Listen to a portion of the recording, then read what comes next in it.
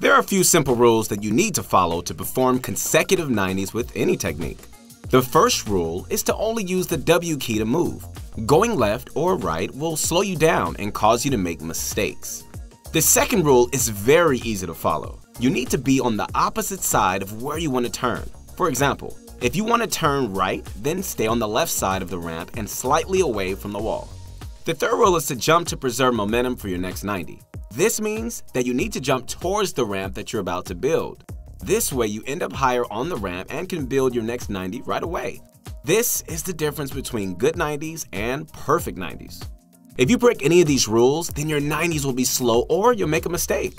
Keep this in mind for every single technique and you're off to a good start.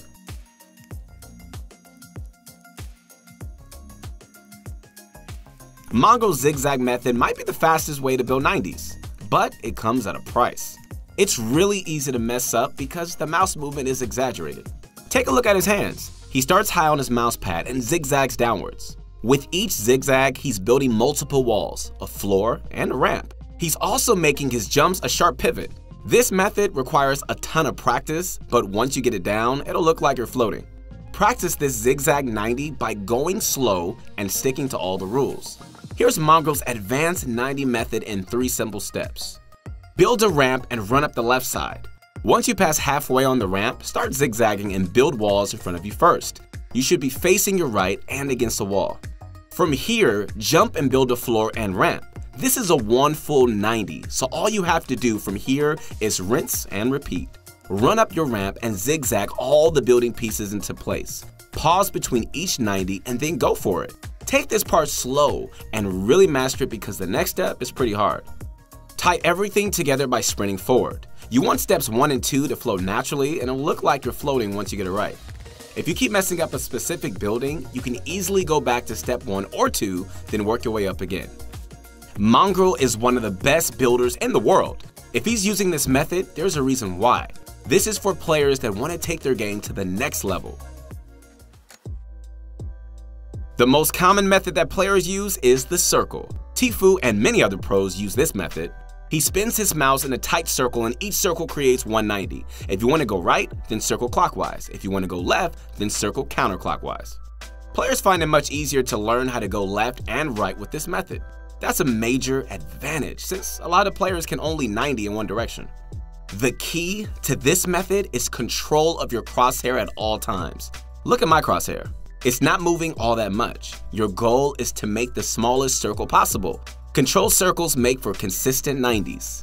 Another trick that I find very useful is to keep your crosshair at head level. Time your circle so that you build a floor as your crosshair is at its lowest point. Doing this helps you avoid building a roof over your head. Lastly, make sure your crosshair makes a full circle every time. You need to reset your mouse position to stack 90s. Alright, so this is the breakdown of Circle 90s. Build a ramp and run to the left corner. Start by building your building pieces one by one in a circular motion. Build the walls first, then the floor and ramp. This is one complete 90 and you should be on top of a ramp. Keep going until you can get it right. Run to the corner again and repeat step 1.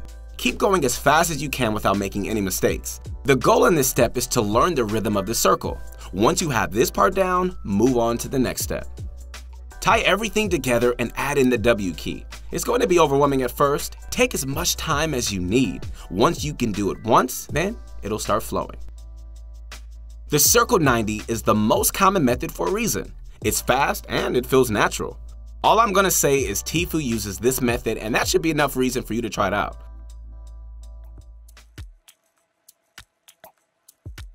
The Bizzle 90 is the easiest way to build 90s. If you struggle with every other method, then pay close attention right now.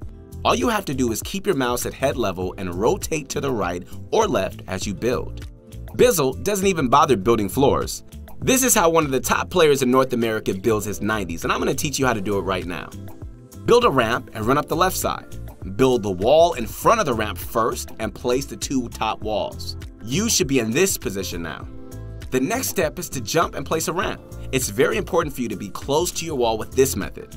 You want to ride against the wall at all times. This is the downside of not having a floor to boost yourself up. Lastly, add in the W key. You should be able to pick this method up very quickly if you stick to the wall. If you're having trouble, use the wall as a pivot point. This is a very easy way to perform 90s and is still just as effective. I recommend this method to players that don't want to spend hours perfecting the 90. Bizzle is a top 10 player in the world, and he uses this method, so that should be convincing enough.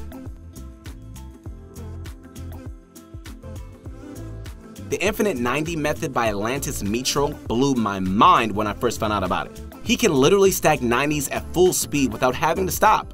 I saved it for last because this method is really hard and it'll take a bunch of time to master. But I'm going to try my best to make it easy for you. Build a ramp and run towards the corner. As you're about to turn, aim your crosshair right here. This way you can build two walls at the same time. Now just jump and build a floor and ramp. Everything should be pretty easy so far. The next step is the hard one. Rule number three is more important here than any other method. Turn your mouse in this kind of arc so you can jump and end up at least halfway up your ramp. You don't have a wall to catch yourself, so be careful of falling off the side. This step will take a lot of time to master, so don't expect to get it right away. Perfecting infinite 90s is a great way to flex your building skills. While everyone else has to reset after 3 cycles, you won't. Atlantis Metro is a ridiculous builder, so we'll keep you up to date on what he's cooking up next. There are a few common mistakes that you'll run into when building 90s. The first big mistake is Harry Pottering yourself. Placing a ramp over your head is the most common mistake and the absolute worst one. All of your hard work is gone and your high ground push is over. This happens when you don't stick towards the edge of your ramp or if you jump at the wrong time. If you're Harry Pottering yourself all the time, then go back and practice rules 2 and 3. Another common mistake is that players tend to misbuild walls. Building an unreinforced 90 is a quick way to get shot down. If this is happening to you, then stop W keying and go back to building piece by piece. Think about every single step and try to go back to the basics. Check your cursor placement, your positioning, and the universal rules. The last mistake that comes to mind is when you build a roof over your head. If this is happening to you, then you're just not clicking your inputs fast enough. Just like with any other mistake, take a few steps back and go slow again. I recommend that you edit the roof and just continue from there because there's a good chance you might roof yourself when it counts and you need to practice this edit as well. I personally use the Circle 90s at the moment, and once I learned that Tfue used it too, I felt no need to change. It just feels the most natural and it makes the most sense to me. A few other people here at ProGuides use it as well. I mean, like I said, it's probably the most common method out there. Give it a spin. While making this video though, I think that Mongraal's Zigzag has a lot of potential. I found myself going really fast at times with little to no practice. If the circle and zigzags just aren't working for you no matter how hard you try, then pick up Bizzle's 90s. I actually started with those somewhere in season 2 or 3 when I self-taught myself 90s. They worked just fine and I naturally began making circles as I got faster. It worked for me and it might work for you too. So you put in the time and learn how to build consistent 90s. That's great, but you don't know how to use them in a real game. Here are some ideas to put your hard work into action. Whenever you get shot from mid-range, don't build yourself into a box. Build 90s instead. This way, you can secure high ground and be in position for any play that your opponent can make. Don't go too crazy with the 90s though, so you know you should just build two or three, then shift gears into offense. Sometimes building 180s isn't enough to win high ground. Let's hit the lab and do some quick math right now. If you build two 90s, then you just turned 180, right? Two consecutive 90s is super sturdy and easy to build. Another benefit is that it's really difficult to counter build against, so once you pop out of a ramp, bust out some 90s and win high ground. This is what pros do in their crazy 1v1 playground battles, so try it out for yourself. Once you stop building 90s, your side and back will be exposed. Quickly turn around and cover yourself. I'm pretty ashamed of how many times I stacked 90s and I thought I was safe, only to be shot in the back. Ugh. So remember, build your 90s, then complete the box. The last tip is not to build 90s for no good reason. Yes, it's a great and flashy technique, but there are some games that you don't need to build a single 90. Don't force yourself to do it. It takes a lot of materials and honestly just isn't worth it.